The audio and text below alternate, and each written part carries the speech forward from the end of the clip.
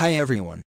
This is Samsung Galaxy A13, and today I would like to demonstrate how you can activate the keyboard clipboard on this device.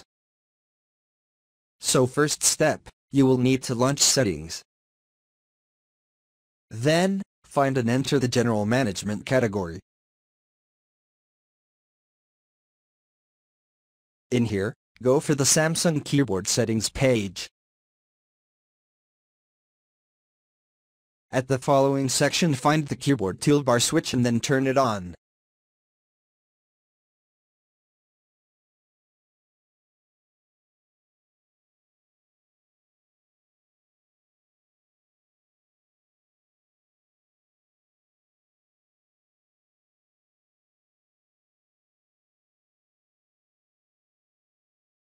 Now once I will launch the keyboard we'll have this convenient toolbar which provides us with an icon by tapping on which we will be able to access the keyboard clipboard.